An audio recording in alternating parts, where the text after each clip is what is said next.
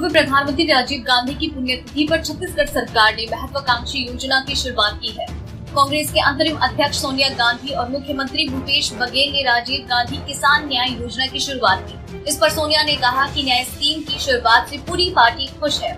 इस योजना के ज़रिए किसानों को सीधे पिछहत्तर करोड़ रुपए भेजे जाएँगे। वही कांग्रेस प्रवक्ता रणदीप सुरजेवाला ने कहा कि राजीव गांधी किसान न्याय योजना की ऐतिहासिक शुरुआत आज मुख्यमंत्री भूपेश बघेल के नेतृत्व में छत्तीसगढ़ में हुई।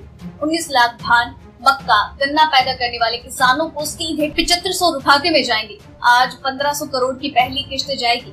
उम्मीद है कि भारत सरकार इस अनूठी पहल से सीख लेगी। वही छत्तीसगढ़ कांग्रेस ने कहा, जब नोबेल पुरस्कार विजेता महान अर्थशास्त्री अभिजीत बैनर्जी से राहुल गांधी ने बातचीत की तो उन्होंने भी कहा कि किसानों को सशक्त बनाने का एकमात्र रास्ता है कि उनके खाते में सीधे राशि पहुंचाना। आज हमने करके दिखाया है। अगर आपको ये रिपोर्ट पसंद आई तो इसे लाइक और शेयर करें। साथ ही अपने व्यूज़ हमें कमेंट करके ज़रूर बताएँ।